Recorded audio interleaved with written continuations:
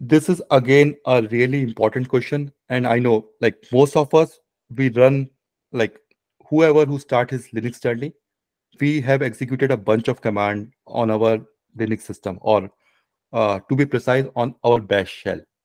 But how many of us thinks like what happened behind the scene when we run this cat etc password command or not cat etc password command, even if we executed the ls command, what exactly happened behind the scene or any command which you are running. So again, I will pause here for a second and I will give you guys few seconds to think about it. What do you think happened behind the scene when you are executing any command in Linux? So I will start with, let's say I'm in the bash interpreter. What do you think, if you look at this command, what do you think what is happening behind the scene? So if I'm seeing this cat etc password command, or what exactly I'm seeing. That's you fine. guys are thinking in the right direction, but you are thinking way ahead. Yeah, check either this is directory or folder, permissions folder, directory folder. Is this you want to? No. Okay. So let me start here. Here I'm seeing two things. One is the cat command, and second one is the argument which is passed to a command. I am not thinking about where I am going, where exactly I am trying to do a system call. I'm seeing two things here. One is the command and one is the, the argument which is passed to a command. Okay. Now, I figure it out. Okay, I have two things here. What will be the first step? Now we can start with all these things which you guys are talking about. So what should be the first step? Okay, let's start with the cat command. If I need to read this cat command to read this particular etc password file, or it can be any file, etc host, etc shadow, what is the first thing it need to do? So basically in, in your path variable, it is going to see where exactly this cat command is, right? And that is how the utility like which will help you to locate the path. Because this user bin is the path, is the location where it will start searching for this particular binary. So that is how if you create a new program, and if it's not there in the path you need to define that particular path. I mean most of you you have done this command right? Export and then let's say your binary home plakhera fetch abc colon dollar path right? To add that particular binary in the path of this particular because these are the default location where your shell looks for the particular command. Okay? So okay we have seen that, okay, we have break this into two parts. One is the cat command, one is the etc password. Now we look for the cat command in that path variable. Uh, and because this is a valid command, it find out that particular command in the path variable. What will be the next step? Think of this like a simple command, like a cat command. Uh, what do you think?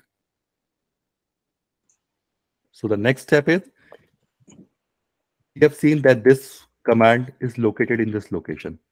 So Correct. what it need to do, it need to load that file from your disk to a RAM. Okay. Basically, it do a lot of system call for that. So there is something called fork and exec. But let's not go about like how it does. So now it has load the file from disk to a RAM.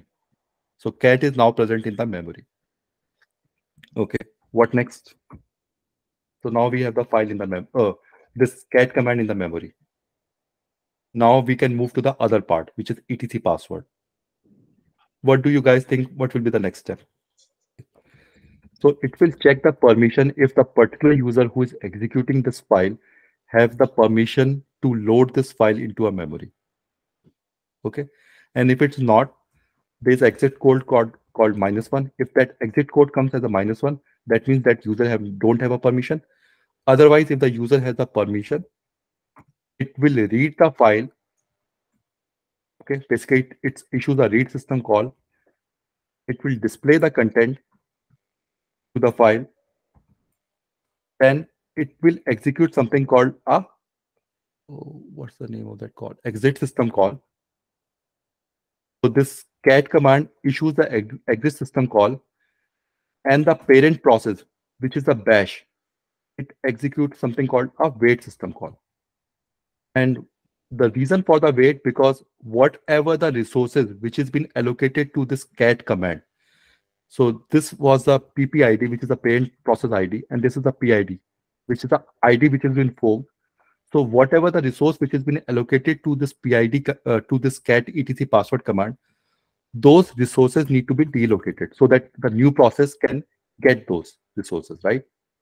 So whatever the resource, I mean mem, CPU, all those IO, those will be cleaned it out, right? And finally, when all these things will be done, the uh, the transfer of the this whole thing will return back to the bash. Okay, and that is where you have seen this during this wait system called something called zombie process. That is how the zombie process got created. So your process got exit, okay, and it is waiting for the kernel to uh, to clean up all the resources. But the PID of this process never got cleaned up, and it can be a n number of reasons. We can talk about it later, but this is a common misconception for every process during this when it execute this exit system call, and by the moment when uh, kernel is cleaning up or this bash shell is cleaning up all the resources, there is a slight movement when the process become a zombie because it need to clean all the resources which has been allocated to a particular process. Okay. If I confused you, just forget about this zombie. So basically, it execute exit and during the wait, it is cleaning up all the resources which is allocated to this particular process. And once that has been done, the uh, the whole of the uh, command will return back to the shell or the execution return back to a shell. Okay, so let me summarize it one more time. You open your bash shell, you executed the cat command, this cat to read any file. And same thing happen if you try to execute, for example, the ls command, right? So for ls, it is just going to look for the path. It will load the binary and execute it and all those things if it has a permission and everything, right? And all the steps will be the same.